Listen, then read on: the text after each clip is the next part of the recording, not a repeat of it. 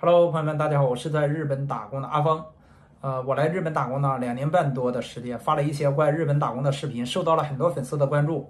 很多粉丝来问我关于日本打工的一些消息，问我峰哥呀，到日本打工劳务公司怎样找啊？劳务公司靠不靠谱？什么样的劳务公司靠谱？我今天这条视频要和大家说什么哈？有一些劳务公司是靠谱的，但是我发现一件事儿。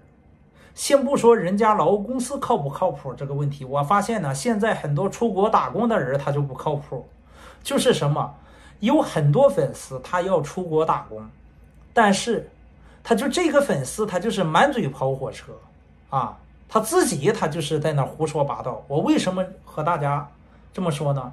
因为最近哈，包括以前很多人加了我微信之后，来问我峰哥呀，我要到日本打工，然后问。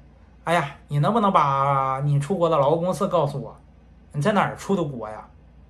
然后我说你多大岁数啊？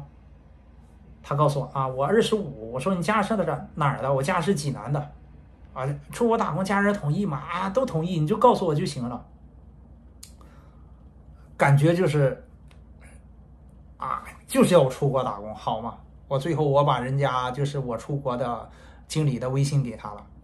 然后呢，他加了人家之后联系方式之后呢，人家问他你多大岁数？他告诉人家啊，我三十六。你家是哪儿的？我家是天津的。就是这种人，他满嘴跑火车，他没有一句实话。就是这种出国打工的粉丝，咱也不知道他是到底想干嘛。他这种人，很多这种人。所以说，再有这样的粉丝朋友们，你们不要加我，你知道吧？不要再加我的联系方式，不要再来问我人家劳务公司靠不靠谱。就你们这种人，满嘴跑火车，胡说八道，你们不靠谱，还问人家劳务公司靠不靠谱？你们都是在那个满嘴谎话。再有一部分人是什么哈？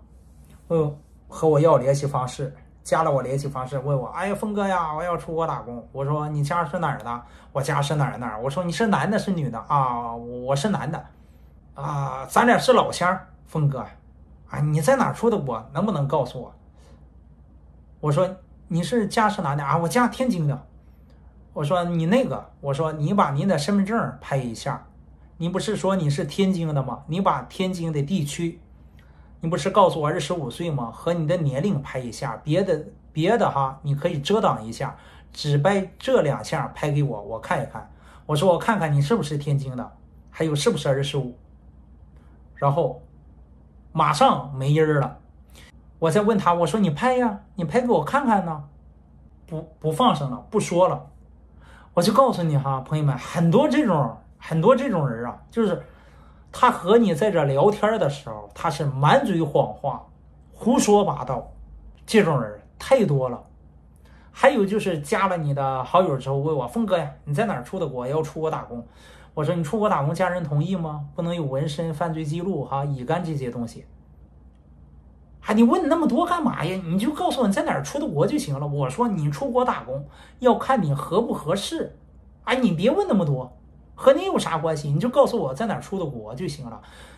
你还问人家劳务公司坑不坑人？说句难听点的话，你就是个骗子。以后再有这样的粉丝哈，你不要再来加我的什么要我的联系方式啊，问我出国打工的一些东西，是不是浪费时间，也浪费大家的口舌？